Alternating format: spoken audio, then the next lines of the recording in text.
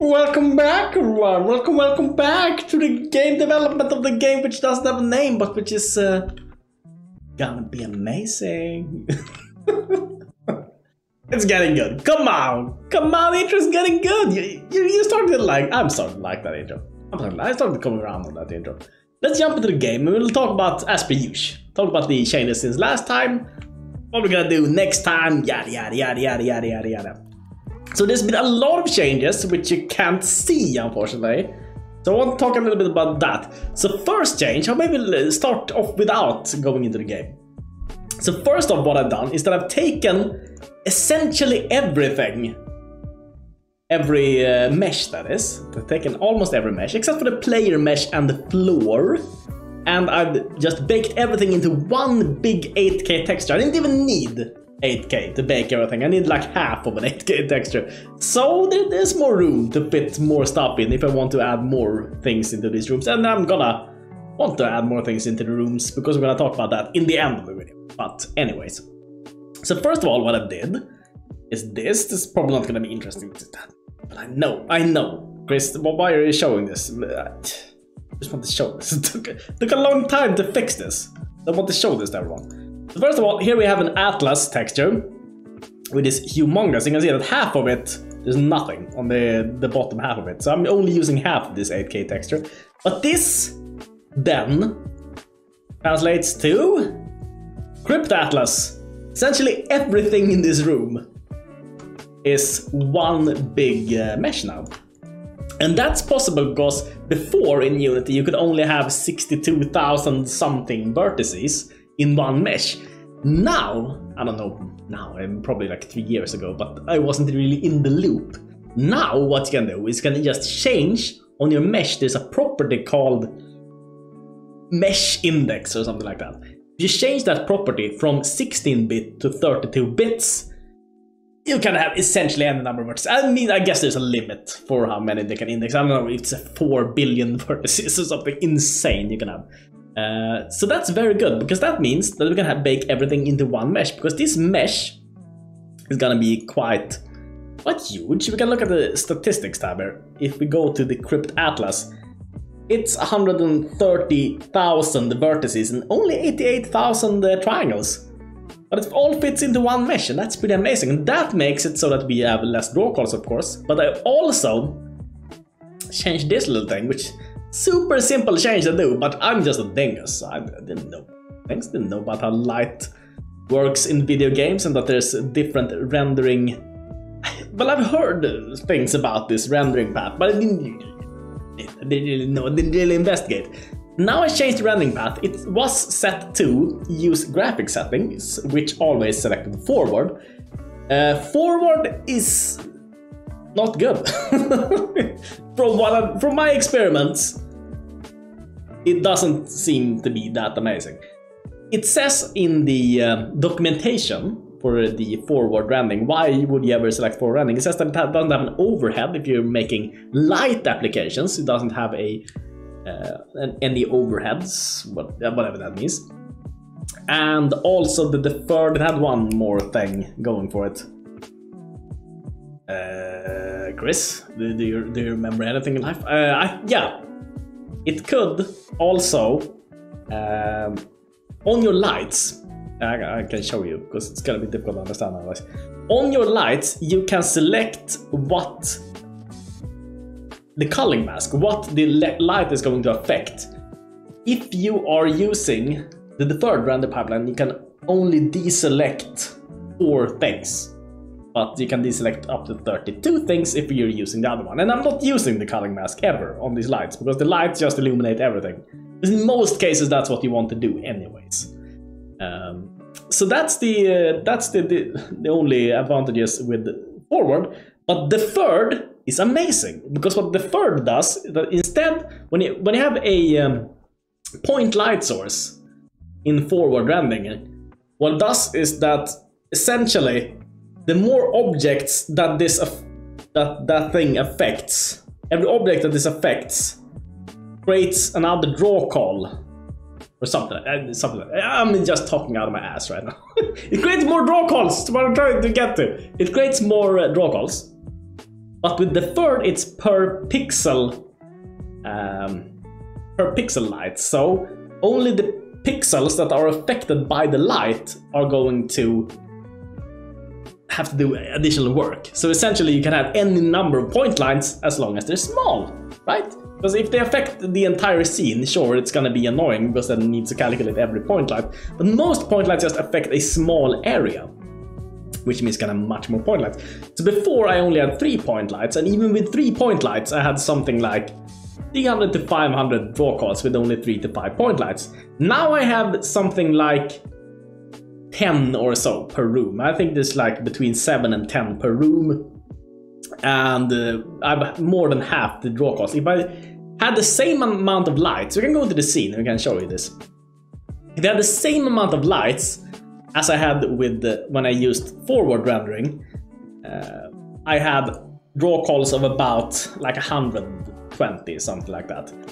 Uh, but now I can add even more lights, uh, more than double the lights, triple the lights essentially, and I have half the draw calls, which is just amazing, amazing, amazing. Another optimization that I did is that the rooms that are now in Fog of War, like this room, I've disabled the lights for them. So if I open this door right now, uh, okay, the Okay, there was like one light. that was a good example, but it enables the lights only when you can see that room. And it kind of makes sense with Fog of War for that to be the case, I feel like. If I close here, it also shuts off the lights, which makes it so that there's less draw calls. Uh, which is pretty amazing. So let's talk about, that was the uh, the backend thing, the reducing the draw calls down to, well, also, by the way, um, now it doesn't have to create additional geometry for every point light like it did before. Uh, these triangles, I think there were something like 3.2 million, 4 million or something when I used the old forward rendering. Now it's only 1.6, which is perfect because now I can add more stuffs, more stuffs, more stuffs, more stuffs, more geometry. That's nice. So the first most striking change probably when you get the, the visuals is that all the colors have been changed. So the walls, for instance, have everything has a new color palette and kind of more muted. So before, for instance, very easy to spot on these urns.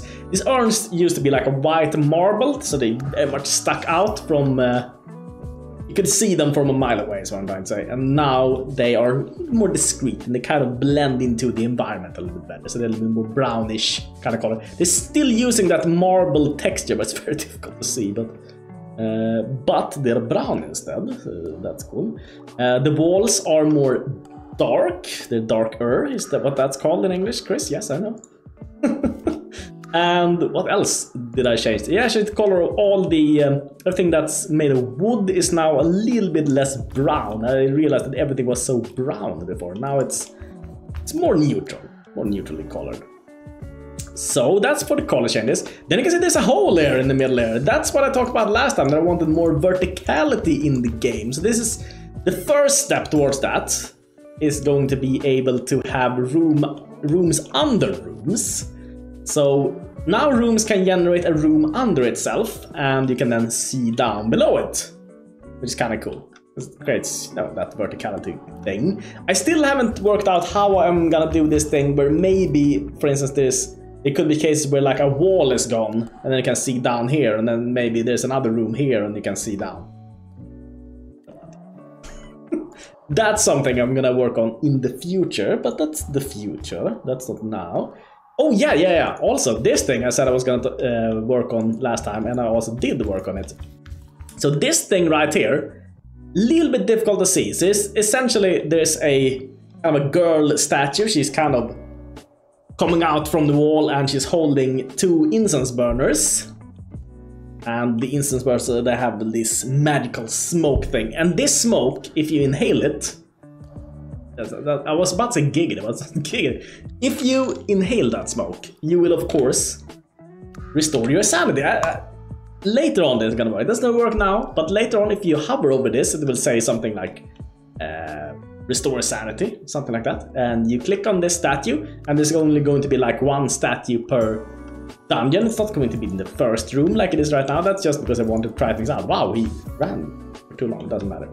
Um, and then when you click on the statue, the fumes, smoke is going to go away. These incense burners are going to be turned off because now there's no incense burners anywhere else in the level. There's only before they were just hanging about like everywhere. Uh, now the incense burners will only be found on this statue. And uh, yeah, you inhale the fumes and then you restore your sanity. So that's the way to restore your sanity because we talked about the sanity system last time. Uh, so that's how that's gonna work. Main. Oh, I can show you, by the way. Let's jump into Substance Painter. I can show you how this looks, because it's a little bit difficult to see in the game, unfortunately, how this looks, because I spent a lot of time on this. A lot of time on this statue. And I even uh, did some uh, some Google uh, Latin. So the thing is, I wanted some text on the sides of this. And I was like, maybe I should just write some symbols or something, but that doesn't really fit. I think in churches, Latin fits. The problem is that if someone speaks Italian or something. They're gonna be able to read this, and that. The, the good part is you're probably not gonna be able to read this because the text is so small in the actual game that it's almost impossible to read. But I thought it would be cool if it said des up here, so that's apparently in Latin that's morte. And uh, life is uh, vitam, uh, probably where vitamins come from. They give life or something. And um, if you know what this says here on the side there, million dollar question. Velatus, this is Google Translate. This might not be correct Latin. Velatus amictu ubum bratio. Sounds so Italian, but it just suits this statue so much. Actually, the way I created this is actually a very low polygon mesh. It's I, feel like I did a good job with this because it doesn't look like it's super low poly. You can see if you zoom in on the hands, of course, that it's very low polygon. Uh, but nobody's gonna look that close anyways. I think it's like 1500 triangles. I don't know why, why I'm bragging about triangles. I have no idea. Why is she holding a bowl, by the way? She's holding a bowl because uh, there's gonna be three versions of this lady. I call it a lady because it, there is a lady coming out from the board. You can see it from her shapes. Um, so be three stat, three possible versions how this can spawn. So either it can spawn in a way where it gives you full HP. It's going to be like a red, like you know in Diablo they have the same like a pool of red something. I don't know if it's blood or if it's whatever it is. It's some some red substance. Um, that is the life substance, so you get life from that. And there's like a orangey kind of thing, which probably might look like orange juice, so I probably need some other color for it. Purple? But what color could spirit be? Or maybe white? White. And uh, then you restore your, can restore your spirit. So you can either restore your spirit, your health, your spirit is your mana, as I said last time, I renamed it. Your spirit, your health, or your sanity can be restored at these statues. Uh, yeah, let's jump back into Unity again let's jump back into you. And let's talk about what I want to do to, for next time. So of course I want these statues to actually work when you click on them. They need to be uh, spawned somewhere in the uh, dungeon, just not the starting room. That's the worst place for them to be uh, to be situated in. They're going to be somewhere in the dungeon. Uh, and that's going to be randomized, of course. That's one thing, and of course if you click them they should restore your sanity.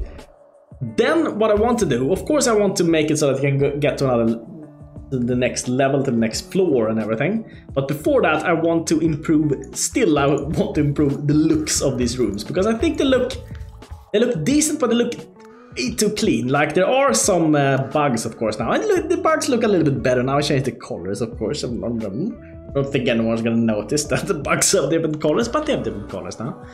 And it needs to be a little bit dirtier, so I'm thinking of ways of how to add like a little bit of dirt and stuff to these places. Or like, yeah, so like dirt and things. There's like nothing on the floors. It's too pedantically clean. So I'm going to add like small vases and like dust piles and bone piles and stuff like that. But to, in order to do that, I of course figured out that I need a new system. Another one of my million systems. A system which figures out where to put these things, because we can't put small bases and stuff where you walk, so it needs to be next to. Excuse me. Next to like walls and stuff. Here's the perfect place to put small bases, small bones and stuff like that, so they're not interfering with the walking here. Also, there's a bug, by the way, you can walk through.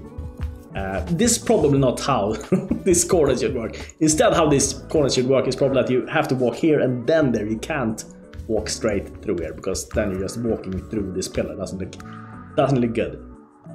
So that's the system I'm gonna implement, hopefully, next time. A system which the, there is already a system, by the way. For instance, there's like on these uh, shelves here.